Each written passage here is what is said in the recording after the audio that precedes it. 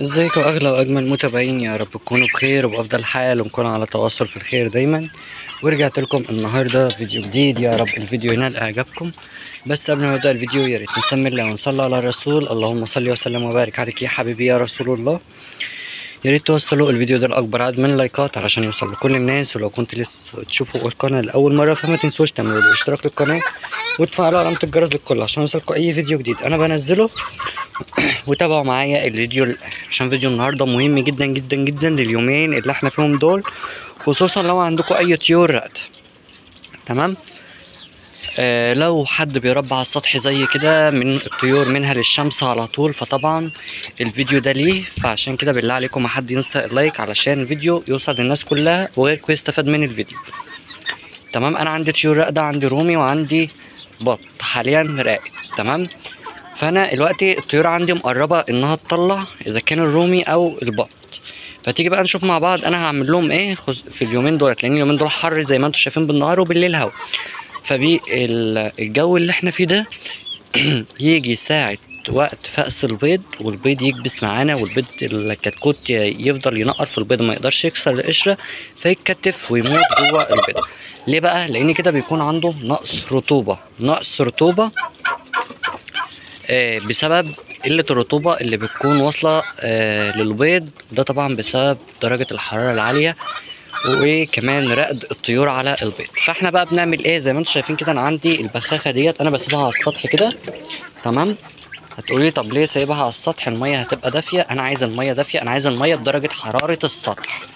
ما ينفعش نجيب مية ساقعة والبيض دافي نقوم رايحين رشنا بالله. أنا سايب دي كده المية ديت دافية خالص أهي من طبعا درجة الحرارة بس مش دافية اللي هو سخنة لأ فتره تمام؟ فأنا باجي البيض أهو ده بيض الرومياي طبعا أنا لسه رش عليه فمش هقدر إن أنا أرش عليه تاني دلوقتي أنتوا لو هتلاحظوا اهو البيض عليه مية أهو. يا رب يكون واضح معاكم. تمام؟ عندي هنا بيض الفراخ ده بيض هندي. تمام؟ هنعمل نفس الحركة برضو. أهو رشتين بس كده أهو. عندنا بقى ال البطة اللي هي أصلا المفروض يومين وتطلع هي البطة اللي راقدة في العشة دي أهي. طبعا أنا بقالي تلات أيام بعمل لها الحركة دي بس إيه دي شايفين البطة؟ البطة عارفة إن خلاص بيضها هيطلع بس أنا والله ما هرجع أنا والله ما هرجع البيض ده إن شاء الله في خلال يومين هيطلع بأمرك يا رب. فاهو زي ما أنتم شايفين كده برش على البيض بالطريقة دي. أهو. تمام؟ بس أظبط الإزازة. أنا حاسس إنها مش مظبوطة. أنا عايزها تبخ أيوه كده تمام؟ كده البيض اترش أهو زي ما أنتم شايفين. نرجع. وهي طبعا هترجع ترقد على البيض تاني. عندي كمان بطة اللي هي أنا خرجتها دلوقتي تاكل. راقدة في المكان ده. أهو. تمام؟ دي برضو راقدة بعدها بكام يوم. أهو بالطريقة دي كده. تمام؟ أنتوا لو هتلاحظوا حتى في الحر البط بيخرج يستحمى ويرجع للبيض بتاعه. تمام؟ إن البط فاهم وعارف هو بيعمل إيه. كده دخلت على بيضها أهي. ومقفلين عليها. ونجيب الأخت دي برضو تدخل على بيضها خلاص. كفاية عليها كده. مش عايزهم برضو يطولوا على السطح زيادة عن اللزوم. أي نعم الجو حر وكل حاجة. بس حفاظا على البيض. عندي لسه إيه؟ عندي البطة ديت بس أدخلها شوية كده مش دلوقتي على طول. هنا نظبط العش بتاعها بقى. لما باجي اشيلها بشيل الطوبتين دولت عشان أعرف إن أنا اخرج طبعا عايز أقول لكم إن الفراخ الهندي هي بيضها كبس. ثلاث فرخات. دي راقدة على بيض رومي اللي هي في العشة هنا دي. راقدة على بيض رومي. فإن شاء الله أول ما أجيب الفقاسة هنقل البيض ده كله.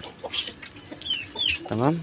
كل ده لازم إن هو يتنقل علشان طبعا زي ما أنتم شايفين بقى درجة الحرارة عندي وحشة والطيور مش فالحة عندي خالص في الصيف.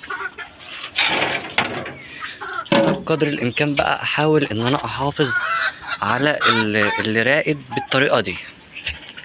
تمام؟ فهو لازم إن إحنا نرش ال- البيض بالطريقة ديت علشان خاطر نوصل الرطوبة للبيض والبيض ما يجيش وقت الفأس ويتكتف مني أو الكتكوت يموت جوه البيضة. تمام؟ خصوصا إن الجو حر بالنهار وبالليل ساقع. المية دي بالمناسبة عشان برضو ما أكونش نسيت المية دي مية بخل. مش مية بس لا دي مية بخل. بسيبها كده في, في أي ركن في على السطح. آه، باخدها بدرجة حرارة السطح بدرجة حرارة الطيور اللي راقدة. طبعا السطح كله درجة حرارة واحدة. فما ينفعش إن أنا الفرخة أو البطة تكون راقدة على بيض والبيض سخن وأجيب مية ساقعة وأقوم رايح حاططها على البيض لأ. أنا بجيب مية بخل وأسيبها على السطح كده يوم كامل خصوصا بالنهار لأن أنا عندي بالنهار أهم حاجة عشان تاخد درجة حرارة السطح. أنا ما برشش على البيض بالليل أنا برش بالنهار بس. تمام؟ البيض يترطب بس وبعد كده أقوم رايح آه، الطيور ترقد فده إن شاء الله هيساعد إن البيض يطلع. وادينا مع بعض أهو وهنشوف مع بعض ال ال- الطيور هتعمل إيه. نيجي بقى هنا. هنرش برضو هنا وزي ما أنتم شايفين ندخل البطة دي. كانت تستحمى أهي. نخش. ترقد بقى براحتها. تعمل بيضها براحتها. بس عشان إيه أنا ما بحبش البيض يدخل تحت القماش. أيوه كده. ترقد بقى براحتها وتظبط الدنيا براحتها.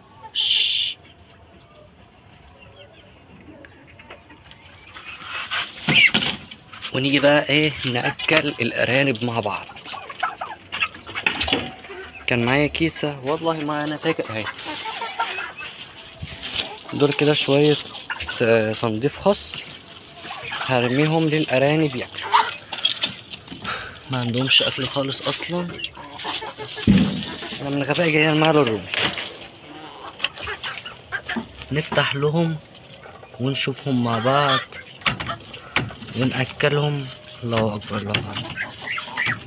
عشان إن شاء الله يكبروا معانا وناخد منهم إنتاج وناخد منهم سلالة وأبدأ إن أنا أهجن منهم الله أكبر الله أهو. خلصين أكلهم أهو.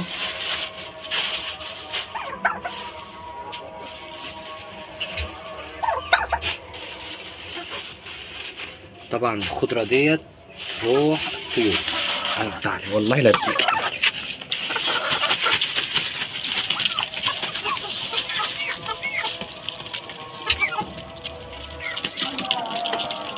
الله أكبر الله أعظم. لله الله. كده إحنا أكلنا الأرانب وعملنا الفيديو بتاع النهاردة. أتمنى لو كنتوا وصلتوا معايا لحد دلوقتي ما تكونوش تنسوا اللايك على الفيديو أو الاشتراك في القناة واللي حابب يستفسر عن أي حاجة يسيبها لي تحت في التعليقات. وأشوفكم في فيديو جديد على خير.